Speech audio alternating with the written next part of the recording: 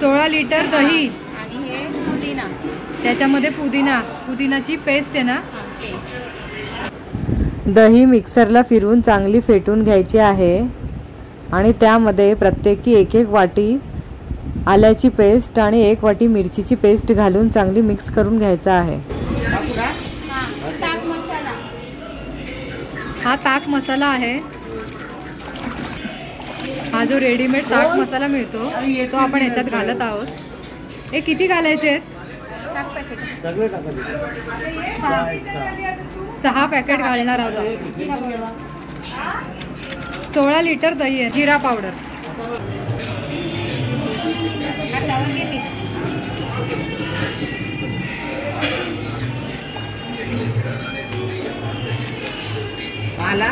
चवीनुसार मीठ बारीक चिरलेली कोथिंबीर आणि मिरची घालून चांगलं मिक्स करून घ्यायचं आहे.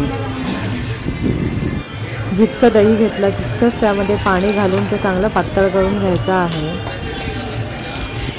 बर्फ घालून ताक मस्तपैकी थंड करून घ्यायचं आहे आणि मग पिण्यासाठी आपलं ताक रेडी होईल.